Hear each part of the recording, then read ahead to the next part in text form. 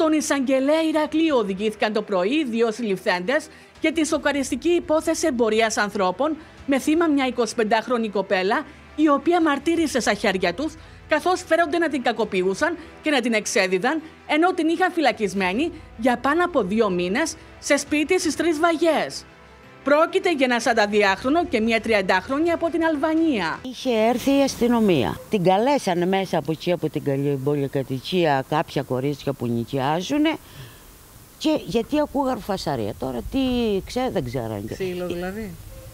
Μου είπε το κοριτσάκι τώρα που πέρασε επομένη δίπλα ότι γινόταν ένας χαμός.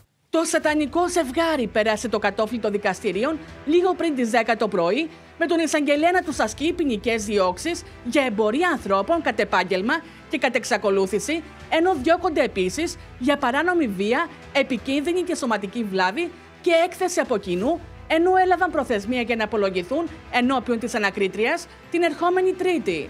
Ο τηλεοπτικός φακός βρέθηκε έξω από το σπίτι του αδίσταχτου ζευγαριού με τους γείτονες να δηλώνουν συγκλονισμένοι. Σε αυτό ακριβώς το σημείο, η 25χρονη έζησε εφιαλτικές στιγμές στα χέρια του ζευγαριού από την Αλβανία που την κακοποιούσε και την εξέδιδε. Δεν είχαμε ιδέα. Δεν το ήξερα καν αυτό. Εντάξει, έχει χαθεί μπάλα γενικά στα πάντα. Άμα δεν υπάρχουν όρια και δεν υπάρχουν επιπτώσεις και δεν υπάρχει τιμωρία.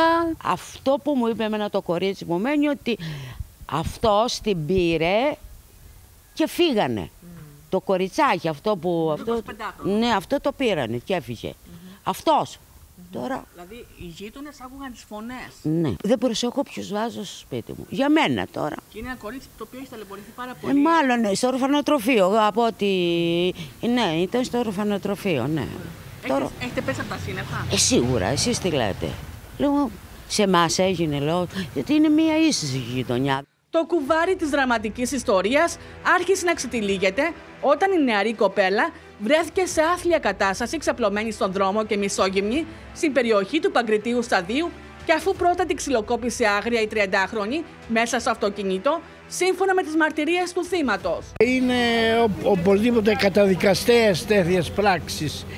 Εκτός το ότι είναι παράνομες, είναι και ανήθικες. Πάρα πολύ λυπηρό για αυτή την κοπέλα αφού είχε περάσει τόσες κακουσίες, νομίζω ότι, ότι αυτοί, αυτοί που τα κάνουν δεν είναι άνθρωποι.